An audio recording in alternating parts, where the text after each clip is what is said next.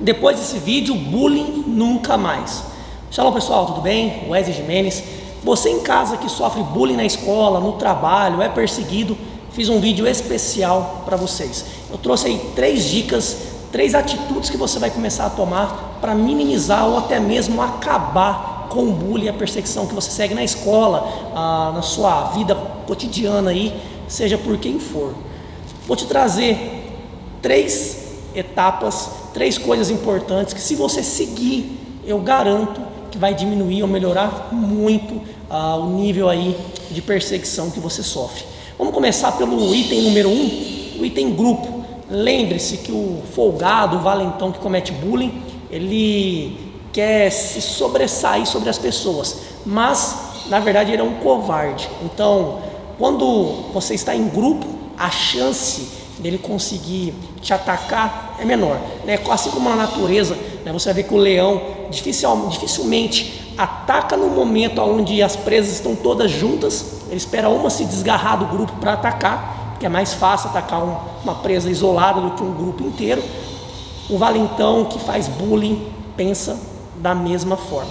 Então, procure andar num grupo de pessoas aí que são seus amigos, pessoas que gostam de você, pessoas que vão te defender se for necessário, ou pessoas que vão te apoiar caso alguém tente fazer uma piada de mau gosto ou até algum contato físico mais próximo.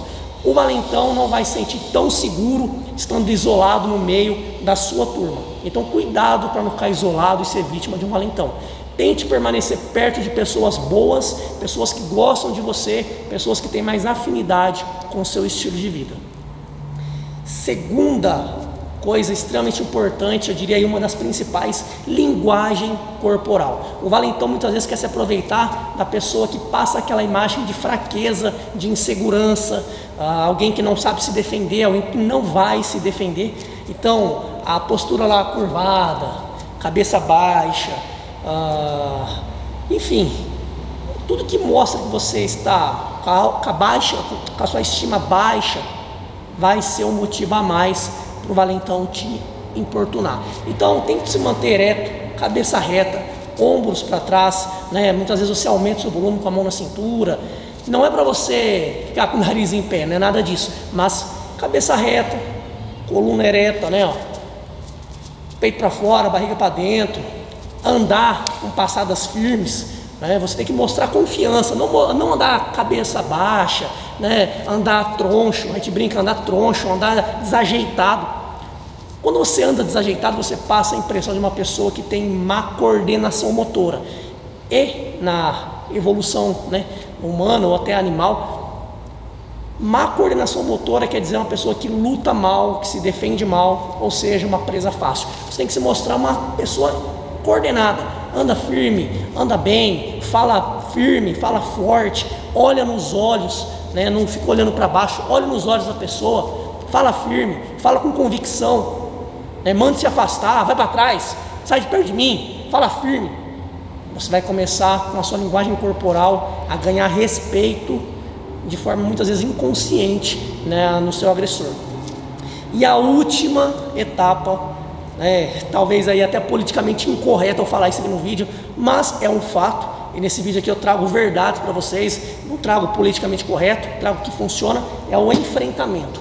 Quando nada mais está funcionando, quando você está em grupo, quando você expressa uma linguagem corporal confiante, quando isso já não está resolvendo, já passou do limite, procure uma autoridade competente, né? procure os seus pais, diretor da escola, polícia se for necessário, mas muitas vezes, se isso não resolver, o enfrentamento talvez seja sua última uh, arma à disposição.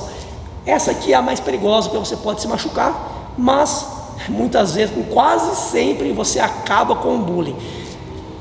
Eu brinco assim com meus alunos, né, com meus amigos.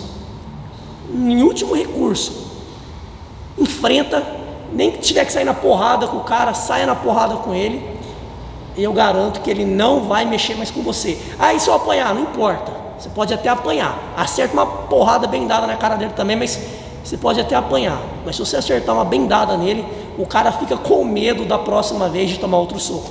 O valentão, lembre-se, ele também é um covarde. Né? Então ele não quer ficar enfrentando aquela pessoa que a qualquer momento vai confrontá-la, vai sair no, no, no corpo a corpo com ela, vai entrar no, no combate físico. Isso é desgastante, isso é perigoso para ele. Né? Existem muitas outras pessoas que já são vítimas e que não vão reagir, que não vão se defender. Então, para que, que ele vai ficar brigando com você, entrando em luta corporal com você, se tem dezenas de outras pessoas que não vão se defender, que vão baixar a cabeça? Mas lembre-se, não estou dizendo para você sair batendo nas pessoas por aí. Estou dizendo que, como último recurso, às vezes será necessário enfrentamento. Essa é uma decisão que você vai ter que tomar. Tá? Se você for contra esse tipo de abordagem, não faça, tome a melhor decisão que você achar.